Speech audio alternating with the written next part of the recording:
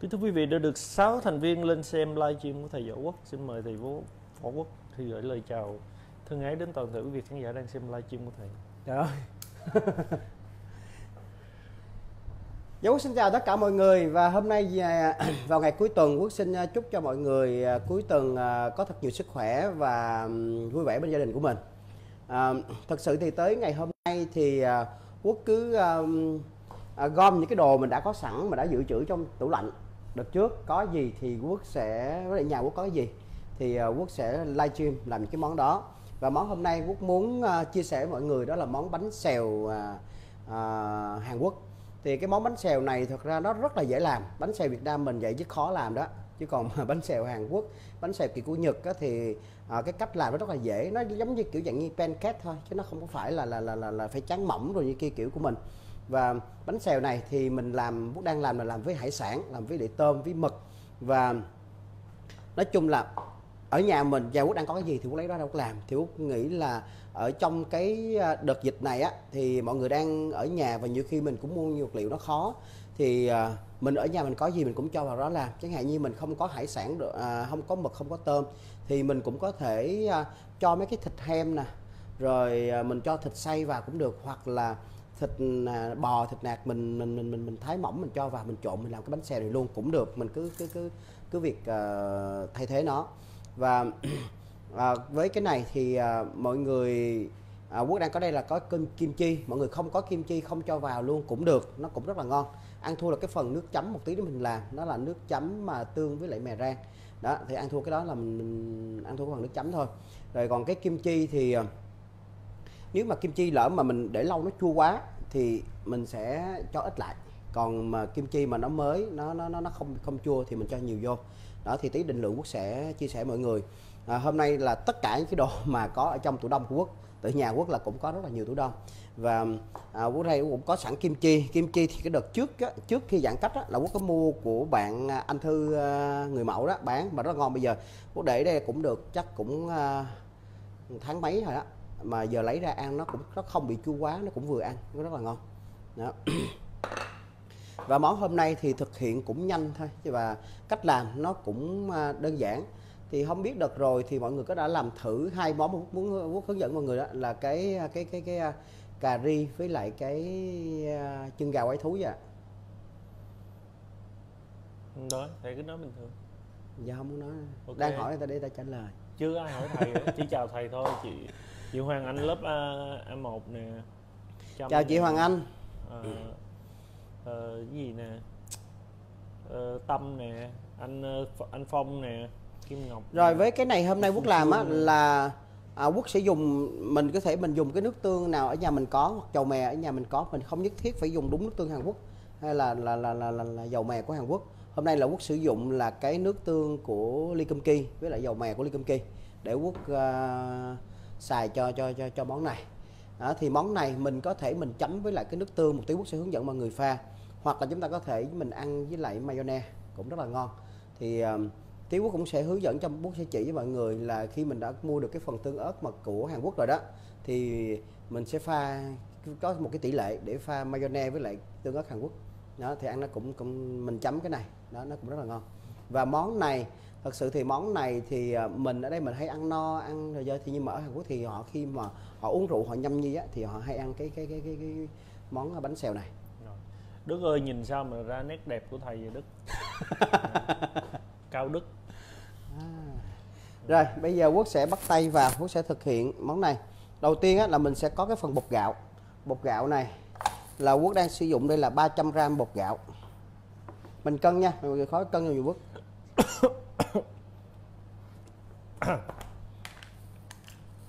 cái phần bột gạo này nếu mình không có đó thì ờ, mình có thể ngâm gạo ở nhà mình đang có đó. Mình lấy 300 gram mình ngâm một ngày. Xong sau đó mình chắc hết cái cái cái cái cái, cái, cái uh, cho nó ráo. Xong mình cho vào máy sinh tố mình xay mình cho thêm vào đó là 350 ml nước mình xay xay nhuyễn ra thì nó sẽ thành được cái bột gạo giống như vậy. Hôm nay là mình nấu món bánh xèo bánh Hàn Quốc nha mọi xèo người. Hàn Quốc hello Lê Quốc Định. Hello Huyền Trân. Dùng bột bánh xèo luôn được không thầy? Được luôn. Dùng bột bánh xèo được luôn cả nhà. Có một người hỏi là thầy.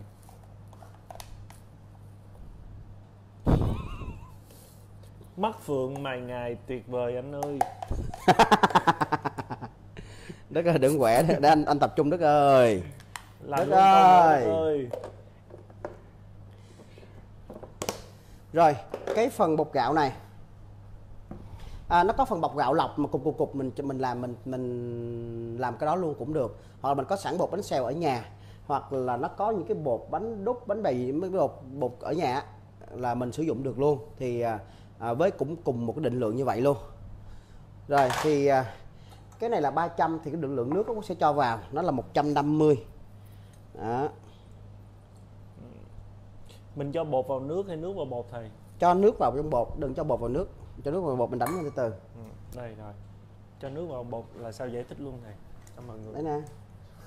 Giờ cho nước cái bột này đó. Gì cười mày? Mày tao hỏi nghiêm túc vô.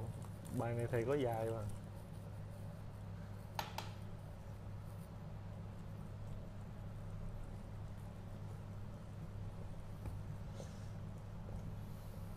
từ nha.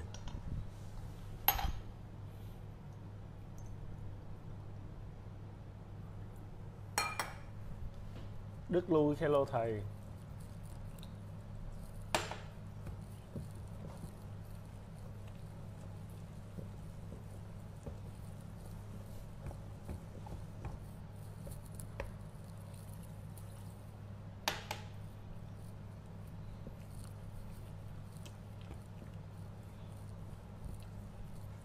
Hôm nay là món bánh xèo Hàn Quốc nha bạn. Dí lắm.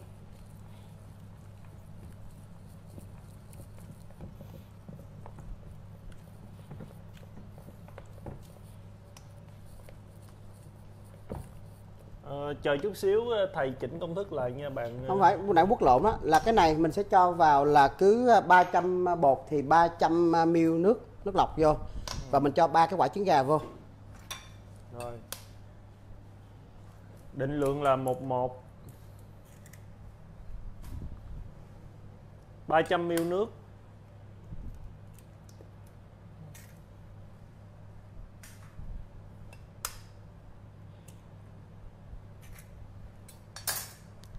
Đức Lưu khi nào bái sư học đạo được thầy? Đức nó ăn giỏi Đức ơi đừng quậy anh nha, Đức ơi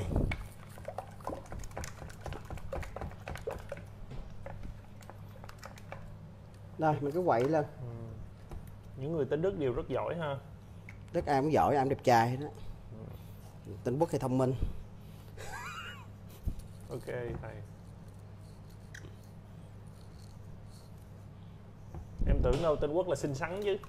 trời cái gì vậy xinh xắn dùng con gái ông ơi Ôi vậy hả? Em xin lỗi thầy. Rồi, bây giờ mình sẽ nêm vào đây. Út sẽ nêm vào đây là 15 gram hạt nêm.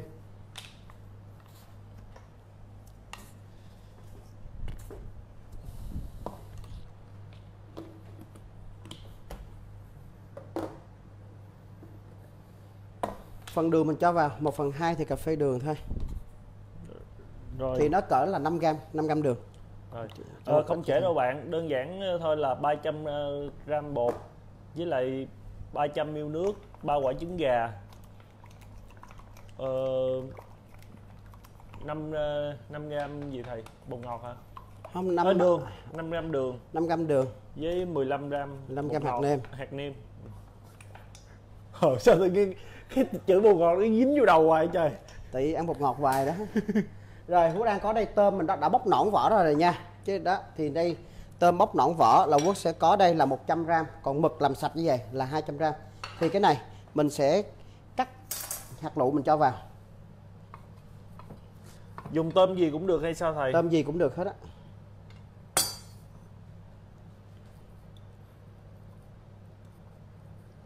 Dùng tép được không thầy? Con cái con con con con ờ, tép nó phải bự bự giống vậy.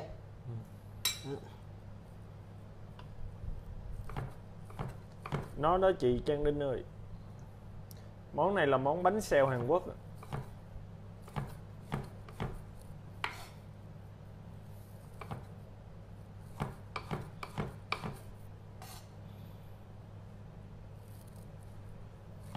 ạ. Rồi nhắc lại công thức mọi người là 300 gram bột 300 ml nước 3 quả trứng gà 15 gram hạt nêm 5 gram một 5 gram đường. Chứ bột ngọt dính hoài ta. Nay chắc nấu ăn đây một ngọt nhiều lắm nè. Công ty mình làm gì có bột ngọt thầy? Công ty mình đâu có nhập bột ngọt đâu. Ủa vậy hả? Thầy bị gì à ừ. nhập mì chính thôi đúng không? Rồi con, ruốc được không thầy?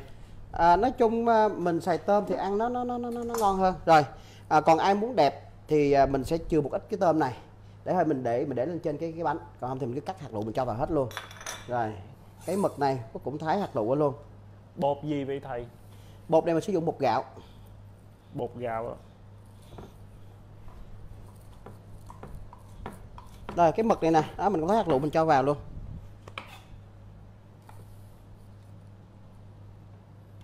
mực là 200 gram mình đã làm sạch rồi á mình cân 200 gram cho bớt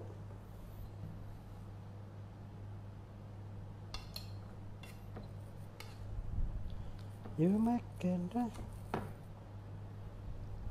tức là mực và tôm đều sắc hạt lựu cho vào hết. Đúng rồi đều sắc hạt lựu hết. Thì nó khi mình trộn nó mới đều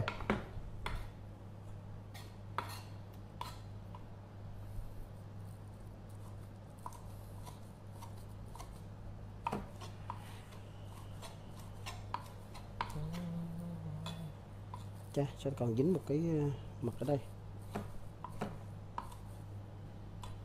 Không sao đâu thầy. Xa lắm. Đó dính cái này nè. Chỗ bị đen á. Cho cái cái cái cái cái, cái thớt khác. Rửa, đi thầy. Đây rửa lại này cho cái thớt khác luôn. Nếu không có mực mình thay con gì được thầy? Mình không có mực thì mình xài tôm không cũng được hoặc là mình sẽ cho phần thịt vô lúc đó lúc đầu á mình cho phần thịt vô. Thịt heo hả thầy hay cũng được bò? thịt heo. À, thịt bò thì à, mình lựa cái bò mềm nha. Còn nếu mà bò mà đã bị dai á thì mình sẽ à, băm băm nó ra. Đó.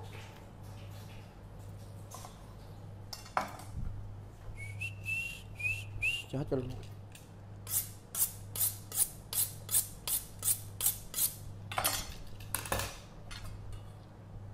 Rồi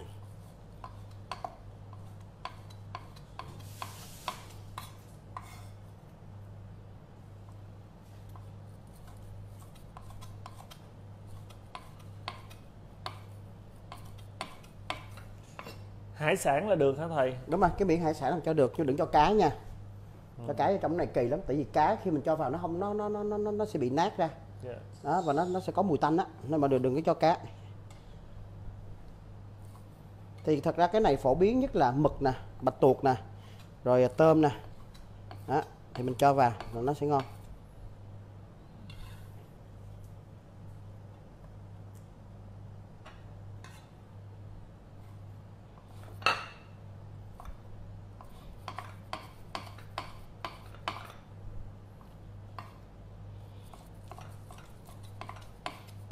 You looking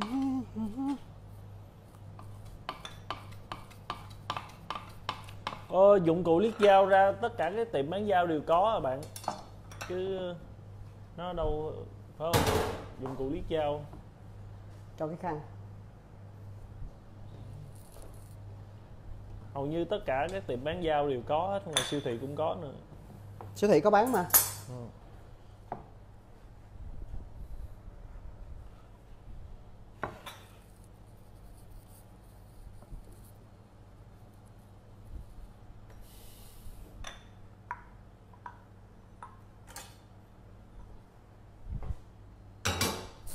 rồi cho vô luôn đi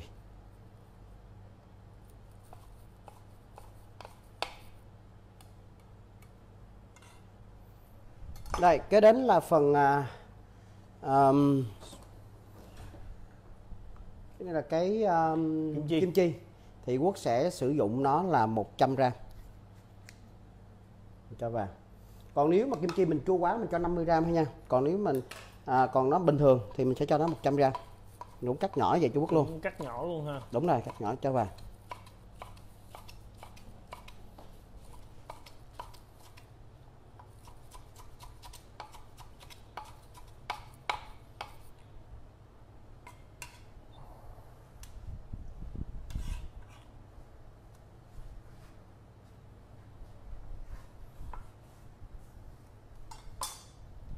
rồi phần cải thảo này thì quốc sẽ cho vào trong đây. Cải thảo là quốc sẽ cho vào là 150 gram. Rồi mình sẽ cắt xéo xéo nó như vậy.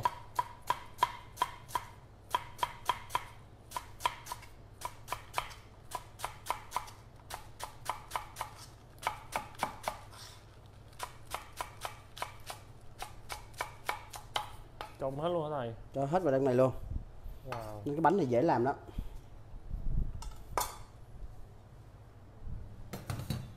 rồi hành tây mình sẽ cho đây là 50 gram. Mình thái mỏng đó thả vào.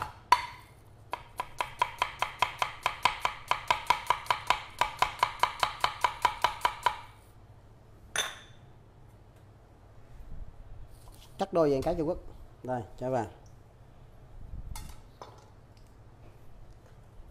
Ờ, thớt này ờ, thầy mua bên Hàn Quốc luôn ai ai có mua có bán lại hay nào quốc này cũng mua bị hớ đó? Ờ, bột bánh xèo vẫn làm được nha bạn nếu như không có bột gạo. Rồi bây giờ cái phần à, cà rốt này quốc sẽ sử dụng nó là 100 gram mình cho vào. Cái đồ có không? À, cắt đi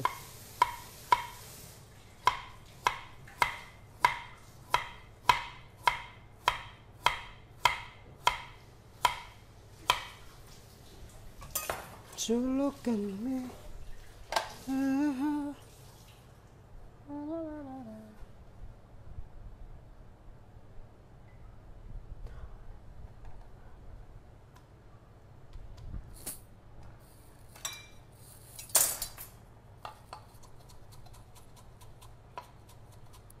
Mình đã cắt sợi ra vậy Trung Quốc nha.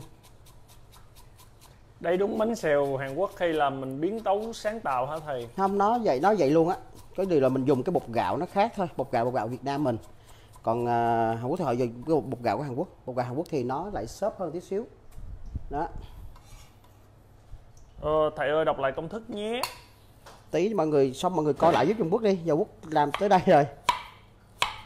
Chút nữa sau livestream mọi người lên ờ, trên Facebook ờ, trên dưới cái phần livestream này có phần comment viết công thức lại nha mọi người hoặc là mọi người vô cái group nấu là ngon á, là sẽ có lại công thức này. Hình ảnh này kia luôn.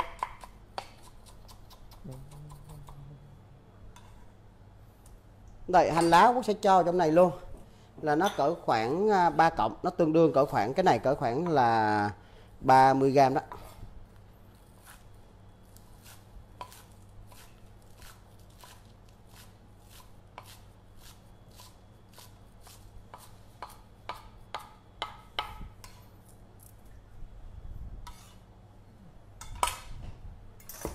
Rồi bây giờ mình sẽ trộn đều lên nha. Và với cái định lượng này á thì à, mình làm ra cái phần bánh này nó cũng là ít nhất mình cũng khoảng là 6 người mình dùng 6 từ 6 người cho tới 10 người. Đó. Và cách đổ này á, thì nó cũng rất là đơn giản. bánh Hàn Quốc rau củ nhiều thì khó giòn đúng không thầy À, cái này nó không có giòn, nó nó nó, nó, nó là giống như dạng dạng pancake thôi. Bánh mà dạng áp chảo thôi thì nó nó nó nó nó, nó à, mềm mềm thế. trong này có ba trứng gà nha bạn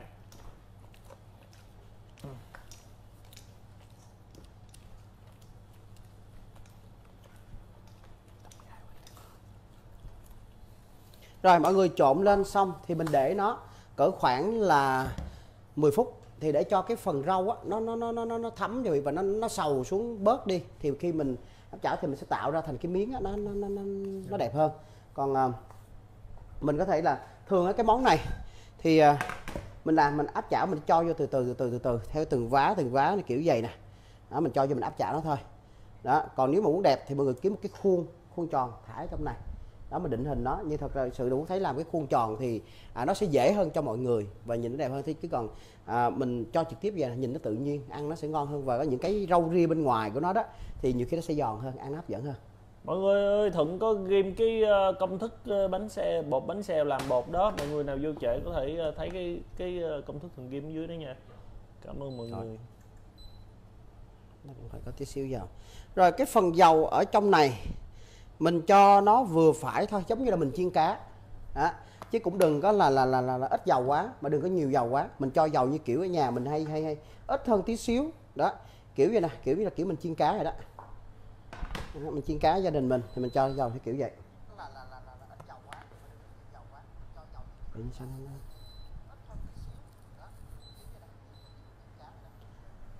Everything I do. Đây, bây giờ mình sẽ chiên nha. anh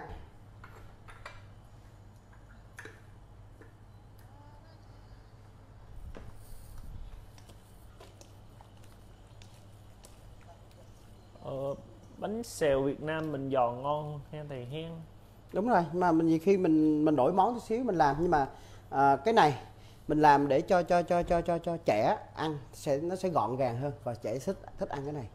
Và cái này là như trẻ ăn á, thì có thể mình cho mình pha cái mayonnaise hoặc là chấm mayonnaise không thôi, ăn rất là ngon.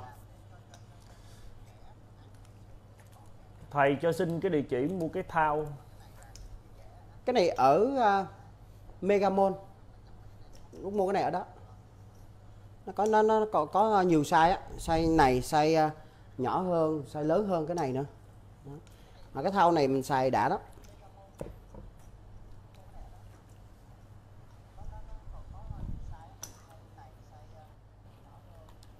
có công thức ghim đó bạn ờ, uh, Tina Nguyễn ơi bột là 300 gram đó mình có ghim đó có bạn Hồng Ngọc ghi lại bạn chịu khó để ý dưới cái chỗ phần comment mình có ghi, ghim cái công thức lại đó.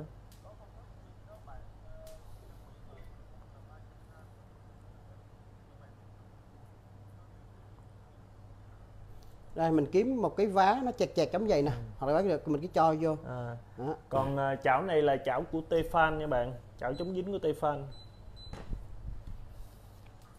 rồi nếu ở nhà mình không có cái chảo chống dính thì mọi người sử dụng chảo à, chảo chảo chảo chảo nhôm chảo inox cũng được. Nhưng mà cứ cho dầu vào xong mọi người bật lửa lớn lên xong thấy nó bốc khói lên nhiều á thì thì cái cái cái cái cái cái và cái cái mặt chảo nó nó nó nó, nó kiểu như là cái phần dầu nó không dính lên trên cái mặt chảo nữa. Thì lúc đó là, là nó đã chống dính rồi đó nên là khi mình cho vô mình chiên nó sẽ không bị dính. Các bạn có thấy cái phần thượng ghim ờ, ở dưới comment không? Rồi bây giờ mình sẽ cho đó. quay cận vô có cho bánh bánh xèo vô nè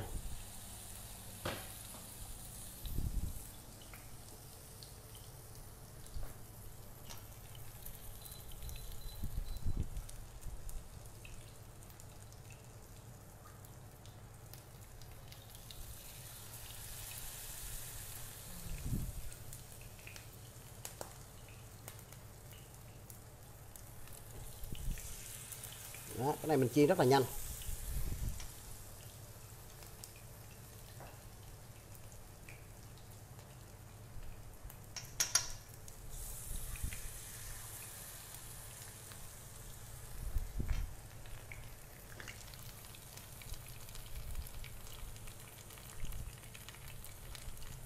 Cái này làm ăn sáng nữa ổn á thầy ha. Cái này ăn sáng trưa tối nhậu luôn. Nó làm ăn nhậu sướng em nhất. không biết nhậu nha này ăn nhậu là sướng nhất.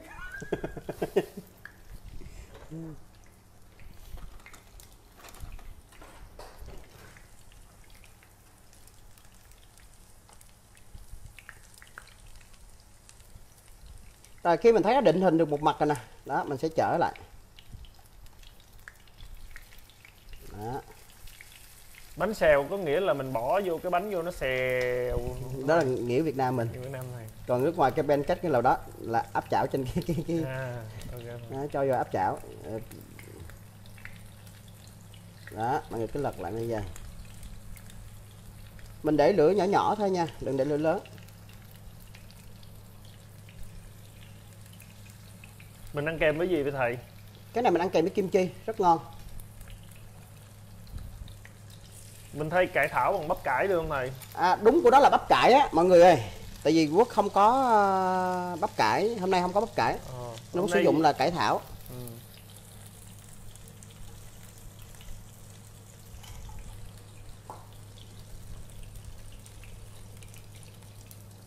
cái đó bạn ờ, hỏi bên công ty Tefan cho bạn. Mấy giờ? Nhà có chào Tefan xài riết sao nó không nó không dính. Cái đó hỏi bên công ty mấy bạn. giờ đây? Cái này mình Dạ. xài thôi chứ mình không phải là công ty cung cấp hàng.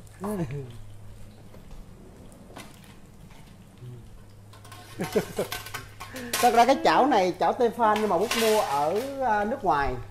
Cái dòng này dòng ở nước ngoài nếu mà mọi người á quay quay quay cận vô à, Quay rồi đâu ạ? đây đây cái chữ này mọi người á thật sự cái chảo này quốc xài rất là thích. Đây nè mọi người coi nè nó có chữ nè James Oliver Tefan thì đây là sếp James Oliver ông này sếp này người Anh. Rồi là cái dòng này sản xuất riêng cho cho cho, cho cái cái theo theo cái cái style của ổng á và nó là gọi là bán chuyên nghiệp. Nên là cái cán chảo này là nó bằng inox luôn. Nên khi ở trong nhà hàng mà nấu á nấu nấu như khi nấu lửa khè đó này kia thì không bị ảnh hưởng. Nó không nó không bị bị, bị còn cái cán mà cán nhựa á, là chỉ nấu gia đình thôi. Còn nấu nấu trong nhà hàng là mình nấu nó sẽ bị cháy cái cái cái, cái đó của mình bắp cải còn gọi là búp su Đà Lạt đúng không thầy? Nghe À, vậy. phải không ta? Búp sú hả? Bắp sú bắp sú bắp sú bắp sú chứ là búp sú tại bạn này viết búp sú bắp sú bắp sú đúng rồi đúng rồi nó đó. Bắp cải trắng các bạn cái bắp cải ờ, ừ,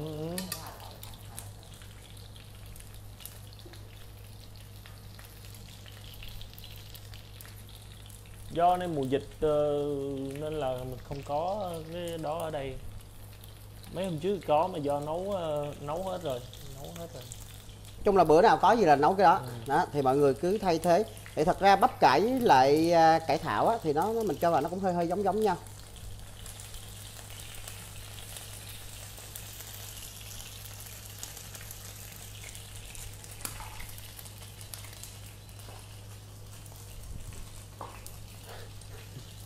Rồi, ai mà muốn giòn á, thì mình sẽ chiên cho nó lâu hơn. Đó. Còn ai mà muốn mềm thì à, như một cái bánh này thường á, là mọi người ăn mềm với áp chảo cho nó chín hai mặt và để lửa lớn cho nó giòn ở bên ngoài thôi còn bên trong á, nó vẫn mềm. Thì á, ăn nó nó nó nó nó nó, nó, nó sẽ ngon hơn. Chị mới làm buổi sáng em rất ngon nhưng mà chị làm với khoai tây. À đúng rồi. Cái này mình cho khoai tây cũng được luôn nha cả nhà. Mình cho khoai tây khoai tây mình à, mình à, mình cho vào trong này luôn. Thì mình thay thế cái định lượng mình mình thay một cái định lượng nào đó mình cho thêm định lượng khoai tây. Ví dụ chẳng hạn như là mình sẽ bỏ cái cái cái cái à, giảm bớt cái phần cải thảo phần cà rốt lại. Mình thêm giống như giảm bớt à, à, cải thảo cà rốt 50 đi thì mình cho thêm 50 khoai tây vô đây. Cũng rất là ngon. Hoặc là mình không có cà rốt không có mình cho khoai tây vô cũng được. Ờ, không có cua Alaska đâu bạn ơi. Ở đâu của Alaska?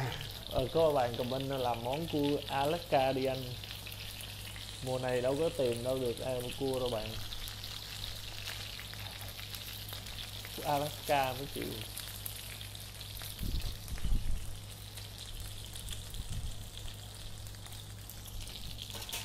Mình bỏ bột chiên giòn thêm vô được không thầy? Được luôn.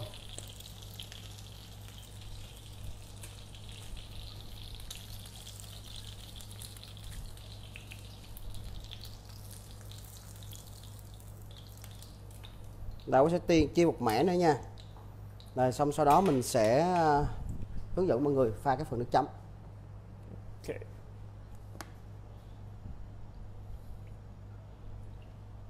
Thầy thông thả đi thầy còn 30 phút nữa. Rồi ai mà muốn ăn mà nó giòn thì mình sẽ chiên cái này cho nó thật là mỏng. Đó thì nó thì nó nó nó nó nó, nó, nó sẽ giòn.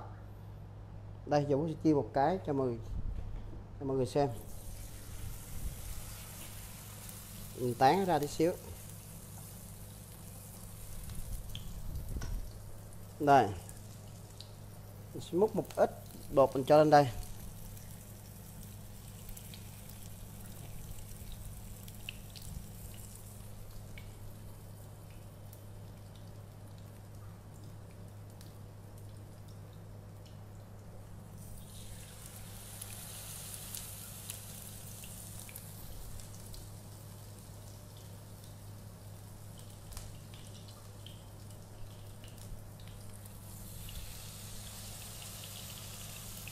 Nếu bỏ nhiều thứ như ý Sẽ thành bánh hầm ba lăng Bằng hắn chắc ngon à. Ai nói câu đó hay đó. Ờ, Coi Hoàng Ngọc Diệp. Để hình một chú chó Nên không biết mặt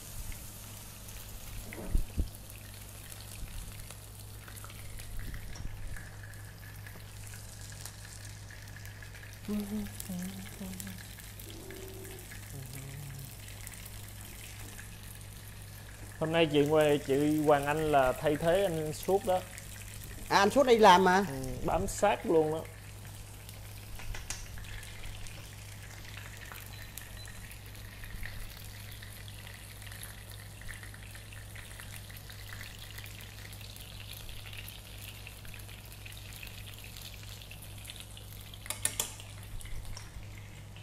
Đây mình chiên hết cái mẻ thôi là xong.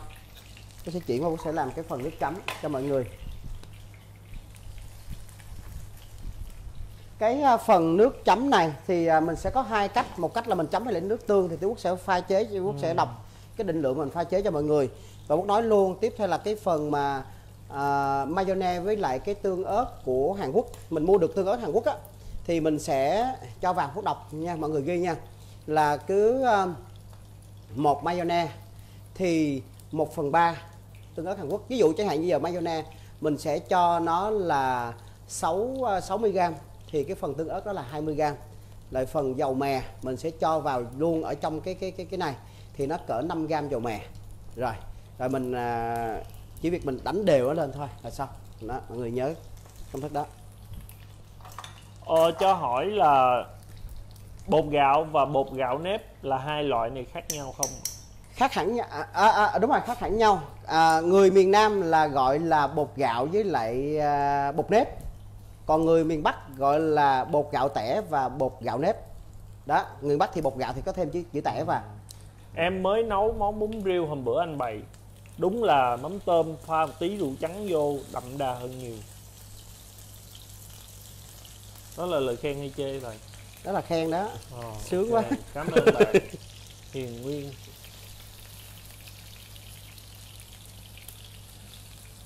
Rồi thật ra thì à, đợt giãn cách như thế này nè Quốc livestream Quốc chia sẻ mọi người á Thì Quốc cũng muốn là à, Mọi người không nhất thiết phải làm đầy đủ nguyên liệu với Quốc đâu. Mình ở nhà mình có gì mình cứ mạnh dạng mình thay thế nó. Đó miễn sao là những cái chính xác chẳng như là cái lượng nước lượng bột lượng trứng là phải chính xác. Và chẳng hạn như ví dụ như những cái này à, mình sẽ tổng vào hết trong đây đi. Ví dụ chẳng hạn như là cái phần rau củ mình tổng vào hết trong đây là 100 nè trăm rưỡi nè à, à, hai trăm rưỡi à, ba trăm ba trăm rưỡi bốn trăm đấy tổng cộng cái phần mà rau củ cho đây 400 thì mọi người sau này thay thế khoai tây hay gì á miễn sao trong đó 400 là vừa. Đó, mình cứ mình cứ thay thế vậy cái không nhất thiết là giống quốc hết vậy. Thậm chí cái này mình cho giá vô được luôn.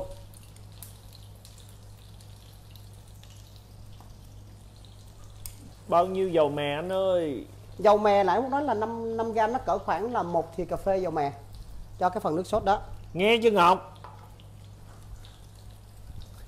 Ở ghi công thức á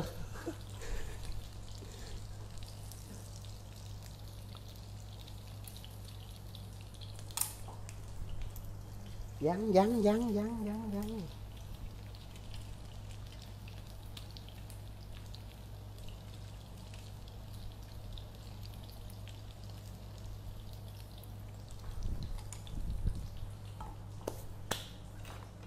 À, với lại cái món này đặc biệt là khi mà ai đang giảm cân á thì ăn nhiều vô coi như là mình khỏi giảm cân luôn á. Nghe hả? Giảm cân ăn nhiều vô là coi như khỏi giảm cân. Chà chà rồi thầy làm nước sốt đi thầy. Từ từ. Để vớt cái đam theo nó cháy kẻo cháy.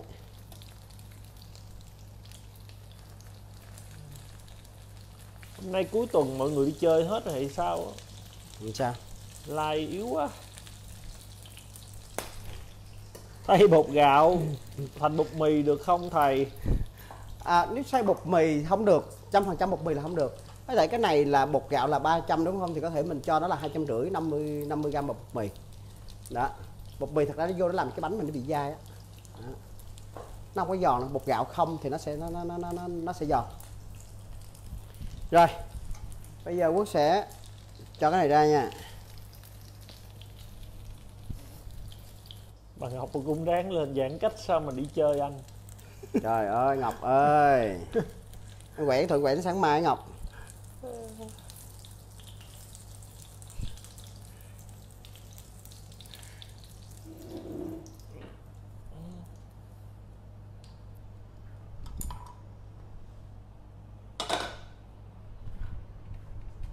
rồi bây giờ quốc sẽ hướng dẫn mọi người để làm à, sẽ lau cái này trước đã. Lau lau lau chú mùa này thầy nhớ ở nhà giữ sức khỏe nha thầy. Bây giờ đi chơi biết chơi với ai luôn. Ừ. làm cái gì cũng cẩn thận đừng có quá nguy hiểm nha thầy. Khuyên thầy hay chù thầy vậy à? khuyên thầy hay chù thầy vậy à, thuận khuyên thầy đó khuyên hả? Giống chù vậy. Giống như hỏi thăm hỏi cho có duyên nha. Quan tâm phải quan tâm phải có duyên đó. Vậy. thầy ơi nếu ăn chay thì mình có thể ờ, thay thế được cái gì thầy? Nếu mình ăn chay. Nếu ăn chay thì mình cho rau củ với lại tàu hũ thôi. Thay vì cái phần hải sản á, thì mọi người cho tàu hũ vào ở trứng gà mình sử dụng được không thầy? À, trứng gà mọi người ăn chay được mà. Ok cảm ơn. Thật ra cái này phải có trứng gà nha nó mới mới cái bánh mình nó mới ngon nó mới mềm nó mới mới mới, mới, mới xốp lên. Rồi cái này ăn không phải là ăn giòn. Đó. rồi bây giờ quốc sẽ pha.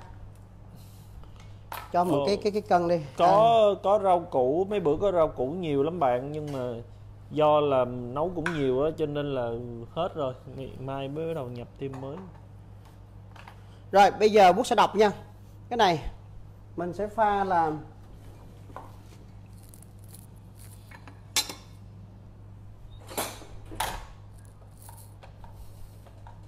phần nước tương mình sẽ cho là 50 ml nước tương vô đây.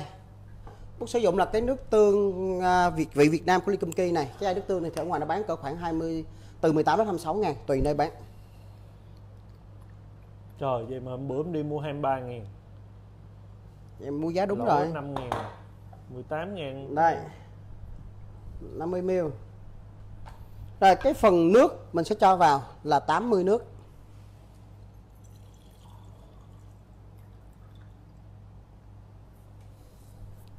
tại vì cái món này á mình phải pha nước tương nó hơi loãng một tí xíu. Tại vì cái này á là mình chấm là mình chấm lúc luôn cái bánh này vào trong cái cái phần nước rồi luôn. Nên là mình pha nó nó nó nó nó, nó loãng ra. Tôi cho đây là 80 ml nước.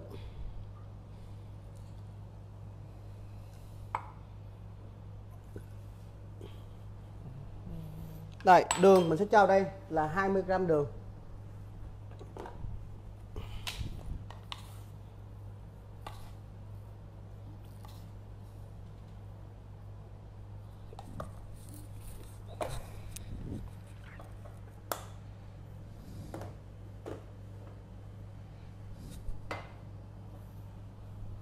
Giấm bút sẽ cho vào đây, giấm đâu? Đây. Là 10 gram giấm.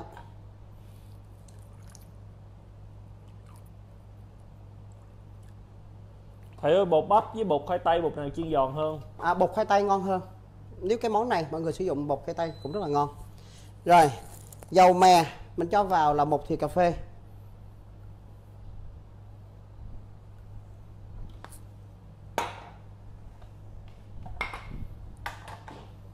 Đây, trong món này ha, mình sẽ cho đây là phần hành lá.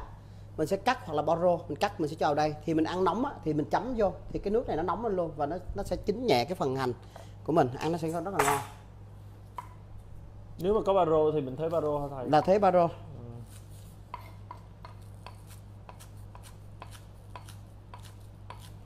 thầy dùng giấm loại nào ạ Quốc đang sử dụng là giấm à, Lisa của công ty à, Ajinomoto hoặc mình dùng giấm táo cũng rất là ngon à, cái này nếu mà ai mà người Hoa á, mà có ở nhà mình có sẵn chấm tiều á, mình cho chấm tiều vô, nó nó nó nó cũng thơm cũng ngon đó. Rồi, tỏi á, thì cho vào đây, nó cỡ khoảng là 10 gram tỏi tùy mình ăn nhiều hay ít sẽ cho cái phần tỏi vào đây cho chú Quốc. Rồi 10 gram.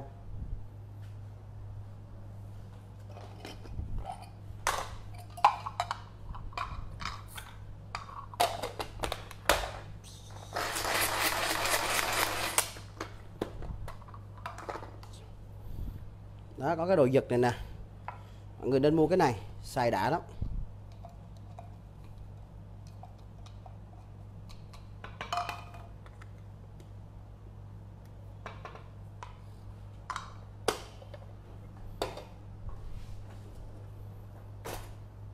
Rồi, bây giờ mình chỉ việc mình quậy đều thôi là xong cái phần nước chấm này rồi. Rồi.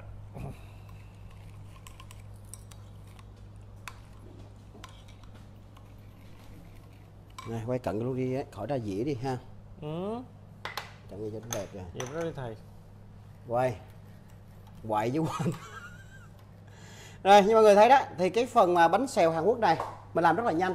Và trong à, đợt giãn cách này thì Quốc nghĩ là ở nhà nào cũng có thể à, mình cũng sẽ không có bột đúng không? Không bột gạo. Thì giống như cách Quốc nói đó mình sẽ ngâm gạo của mình.